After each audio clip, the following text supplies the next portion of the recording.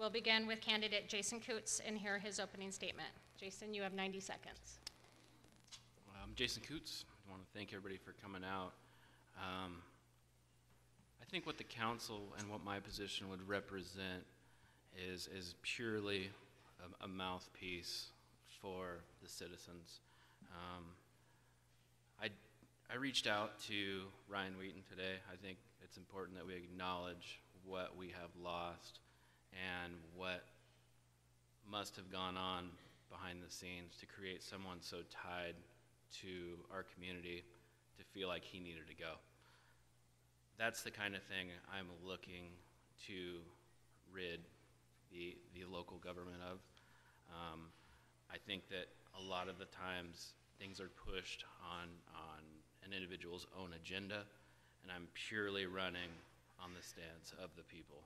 Um, I don't live or die based on the results of this election.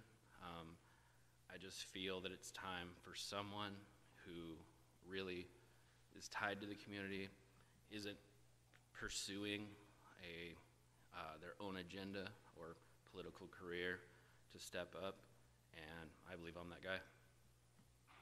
Thank you. Thank you, Jason. Next, we'll hear from Jess Mosley. Jess? My name's Jess Mosley. I've lived in Shelton since 1998. I worked for Mason County uh, for 15 years before retiring in 2015. And I believe that government should be of the people, by the people, and for the people. I think that having a goal, a strategic plan, and adhering to it is important. I think that it's not set in stone, but at the same time, it needs to be adhered to so that we make it a stable community and we welcome all people who move to this area. Thank you. Thank you, Jess. Eric Onisko? Hi, I'm Eric Nisco. I'm a resident, business owner, and concerned parent in the city of Shelton. We have made progress in the city of Shelton, but we can do better. Supporting our schools, we can do better. Paving our roads, pothole repairs, we can do better. Supporting the police and fire, we can do better. Supporting nonprofits in town that take care of our homeless, we can do better. Affordable housing starts with the city, we can do better. All of us are here tonight are your voice, your vote on the new council. I'm asking for your trust to elect me to the City of Shelton Council. Most important is to vote. Please vote for your candidate of choice. Do not leave your vote on the kitchen table. We can all do better. And if I still have time, the role of the council is more of an oversight of the city manager. A city manager runs the entire city and staff, and we're just oversight. Thank you. Thank you, Eric. Jess, this question will go to you first. You'll be given one and a half minutes for your response. Many in the community are asking for more civil discourse among lo local elected officials, whether it be during meetings or on social media. Do you agree with this sentiment? If so, how would you improve the situation? And if you don't agree, please explain why not. I think civility in government is important. Um, I think respect goes a long way towards helping people to communicate in an open format that they're comfortable in and expressing views that are not necessarily mainstream because having an opinion and being a representative from the community brings a different point of view, a different focus, and a different objective that can be melded into a plan for whatever the discourse is and find some form of compromise. I mean, it's not should not always be capitulation. It should be a compromise so that the best of all things come together. Great, thank you, Jess. Eric, you're up next. Again, many in the community are asking for more civil discourse among local elected officials. Do you agree with the sentiment? If so, how would you improve the situation? If you don't agree, please explain why not. Absolutely agree.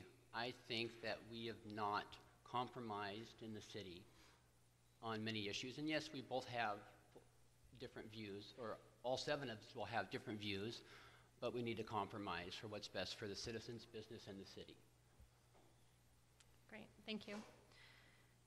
Jason, do you agree with this sentiment? If so, how would you improve the situation? And if you don't agree, why not? I'm sorry, would you read it just one more time? Sure. Many in the community are asking for more civil discourse among local elected officials, whether it be during meetings or on social media. Do you agree with this sentiment? If so, how would you improve the situation? And if you don't agree, please explain why not. I agree that things should be, um, that we should aim to keep things civil. But I think if everybody shares the same opinion, we don't grow. I think um, that when people come together and discuss things and, and disagree and um, participate, that's how Shelton grows. Um, the, the recent environment of Shelton government hasn't been the most civil, but I think the interest is at a peak, and, and I think that if, if good comes about through bad, I think that's what we're aiming for.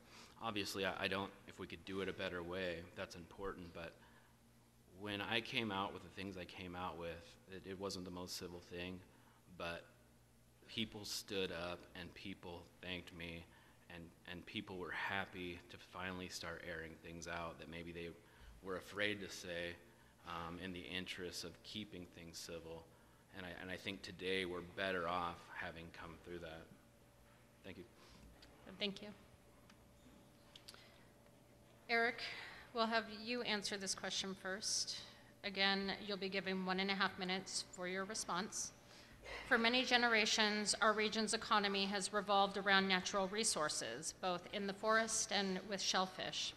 What sectors and employers do you want to be the core of our future economic development, or do you believe it's better to be a suburb of Olympia? Well, I think the suburb is a nice start, but I think that we need to grow Shelton. We need to grow our economy. We need jobs. We need housing. Um, sorry. But I do believe that there's nothing wrong with being a bedroom community at Olympia, but we do also need our own future. Thank you. Jason, again, for many generations, our region's economy has revolved around natural resources, both forest and shellfish. What sectors and employers do you want to be the core of our future economic development, or do you believe it's better to be a suburb of Olympia? Uh, Shelton isn't a suburb of Olympia in my mind, but I think it's important we remember we're also not Olympia. Um, I think that we need to reinvest in our manufacturing core. Um, I think that we need to also establish opportunities inside the city limits. Um, I'm happy to see the city invest in an economic development plan. Um, I think it, it adds room for businesses to come in. Um, I would like to see Shelton become the place that, that people want to live, that people want to have their business there. And um, I think that the trend has been people grow up, maybe start businesses and move away. I, I'd like to see the city work towards a climate that's industry friendly economically. Um, like I said, I, I think the, the economic development plan is a great start, I like to see that explored. Great, thank you. Jess, for many generations, our region's economy has revolved around natural resources, both shellfish and forest. What sectors and employers do you want to be the core of our future economic development, or do you believe it's better to be a suburb of Olympia?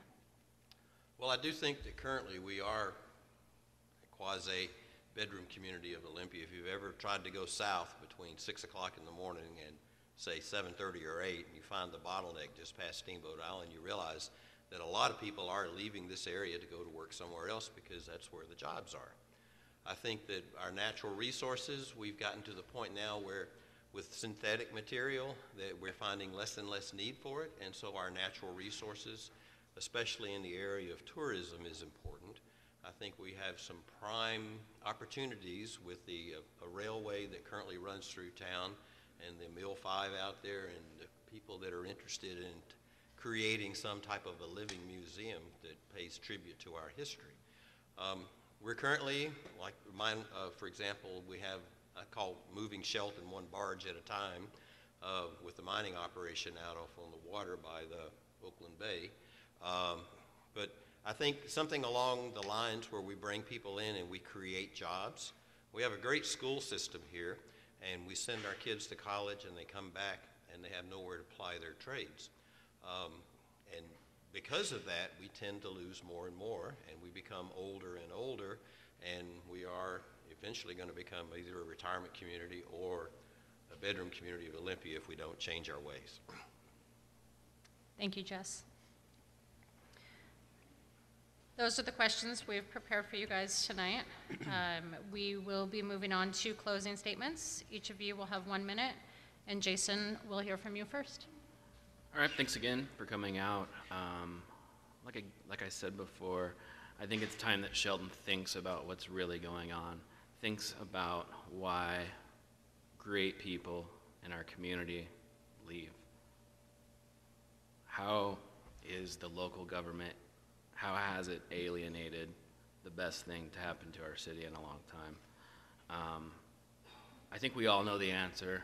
Um, we might not want to admit the answer, and I stand for everything that is the opposite of that.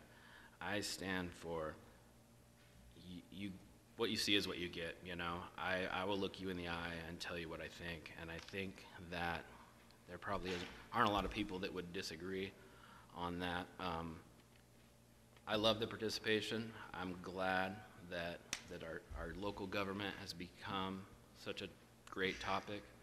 Um, thanks again. Thank you, Jason. Jess? First off, thank you everybody for being here and all the technology that's being used so we can go home and look at what we should have done and what we did do and what we didn't do. Um, I believe that anybody who lives in Shelton has the right to a safe home that's not dangerous, that's not outdated, that's not antiquated, that's not something that would be harmful to young minds and developing bodies. I think that uh, some of the services that the city can provide, uh, in addition to not only commercial property, but residential property that's used as rental property, is to make sure that we have a standard for homes in here and that we use the housing that we have now and upgrade and update to make it usable so that we don't have what I call urban sprawl, where we move away from our homes and they become less owner occupied and more rental properties, and then next thing you know, the infrastructure starts falling and the homes fall into disrepair and sales values go down. So I do believe that the quality of life is important in Shelton and that we should work to do that. Thank you, Jess. Eric? Thank you, everyone, for coming tonight. I have attended hundreds of city meetings, only missing a few, and I know the issues. I've watched and learned, and I'm ready to work on day one. You have a chance to elect eight of us to advance the general election in April. I will offer common sense voting. If it don't add up, I won't vote for it. In the end, seven people will make the decisions on how we spend your money. History shows we don't seem to ask tough questions. The city manager does run the city, and we are the oversight. We don't want any more unused infrastructure projects as you, the taxpayers, paying the bill. We, we can't solve every problem. I will be your voice and your vote and do my best. Thank you. Vote, vote, vote. We can all do better. Thank you. At this point, uh, we'll take a quick break as we reset the stage for candidates vying for Shelton City Council Seat 5. Again, my thanks to Jason Coots, Jess Mosley, and Eric Onisko for joining us tonight. Thank you.